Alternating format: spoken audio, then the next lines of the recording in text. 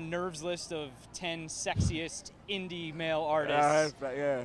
Were you pissed that you weren't number one? Were you Yeah, surprised yeah. you were on the list? Yeah, Tell me I broke. I smashed my favorite guitar when I read it. My manager sent me that. I said, "Why did you send me that?" So I smashed that up, and I sent an email to the company and said, "Why didn't I win this?"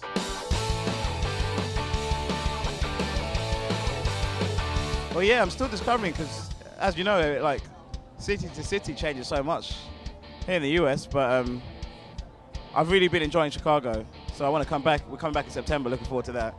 Um, New York I always love, so looking forward to that. We're going back in September. My first time to San Francisco in a few days. I can't wait to see San Francisco. Um, back to Austin. I'll see that again. It'll be good to see Austin and outside South by Southwest. Um, so quite a few places. I'm still learning more about America, the best places to go. Missouri might be good. I don't know. Is that good, Missouri?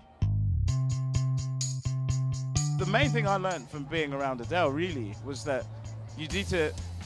It's okay, and it's the best way to do things is to do what you feel to do in your gut, not what everyone else is doing or telling you to do, and and just be yourself as well. How you see her on TV on interviews is is really how she is in real life. So, you know, she's just really funny, like really uh, interesting, just quite funny and laid back. She'll make you laugh like a lot. That really taught me quite a lot. So, so you know, sometimes coming into this business, you feel that you need to put on airs and graces, but you don't. You know, you just need to be kind of honest and true to who you are, and then, and that's that will stand you in good stead. Or at least you can be massive or small, but at least you'll be happy.